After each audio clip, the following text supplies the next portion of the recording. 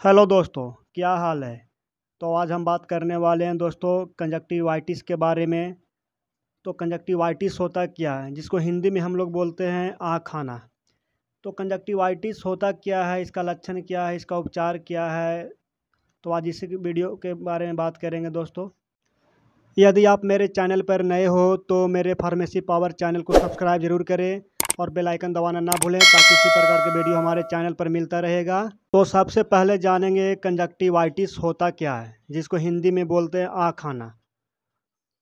हमारी आँखों में एक पारदर्शी पतली झिल्ली कंजक्टिवा होती है, जो हमारी पलकों की अंदरूनी और आँखों की पुतली के सफ़ेद भाग को कवर करती है। इसमें सूजन, आना या संक्रमित होना ही कंजक्टिवाइटिस कहलाता है, जिसको हिंदी में आँख आना कहते हैं। कंजक्टिवाइटिस का एक नाम और भी है, जिसे हम पिंक आई कहते हैं, जिसको हिंदी में गुलाबी आँख भी कहते हैं। जब कंजक्टिवा की छोटी छोटी रक्त नलिकाएँ सूज जाती है, तब यह स्पष्ट रूप से दिखाई देने लगती है और आँखों का सफ़ेद भाग लाल या गुलाबी दिखने लगता है, इसलिए इसे हम पिंक आई कहते हैं, जिसको हिंदी में हम गुलाबी आँख भी कहते हैं। कंजक्टिवाइटिस की समस्या आँखों में बैक्टीरिया वायरस के संक्रमण या एलर्जिक रिएक्शन के कारण हो सकती है। दोस्तों, आप जानते हैं कंजक्टिवाइटिस का लक्षण क्या होता है। इसका सिम्टम्स के बारे में बात करेंगे। यह काफ़ी संक्रमण होता है और ये बहुत तेज़ी से फैलता है एक दूसरे में। इसलिए इसका लक्षण जानना भी ज़रूरी है। तो सबसे पहला लक्षण जानते हैं दोस्तों।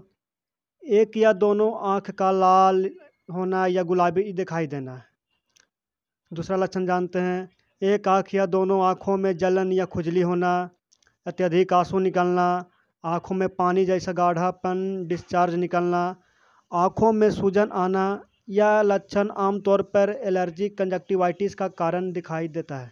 दोस्तों, आप जानेंगे कंजक्टिवाइटिस ट्रीटमेंट के बारे में। आई इन्फेक्शन होने पर कौन कौन सा ड्रॉप्स ऑइंटमेंट या टैबलेट यूज़ कर सकते हैं? तो सबसे पहले आई ड्रॉप्स के बारे में जानेंगे। तो सबसे पहला आई ड्रॉप्स है, वो है ciprofloxacin eye drops gentamicin eye drops ofloxacin eye drops ये तीनों आपको हर एक मेडिकल स्टोर पर मिल जाएगा। और इसे यूज़ करने का तरीका बताते हैं, इसे दिन में दो या तीन बार ज़रूर अपने आँखों में लें, ताकि कंजक्टिवाइटिस जड़ से ख़त्म हो जाएगा। और इसका ऑइंटमेंट भी आता है तो एक ऑइंटमेंट का नाम भी बता देता हूँ आप लोग को, सिप्रोफ्लोक्सासिन आई ऑइंटमेंट। ये आपको आँख के पलक के नीचे वाले भाग पे लगाया जाता है।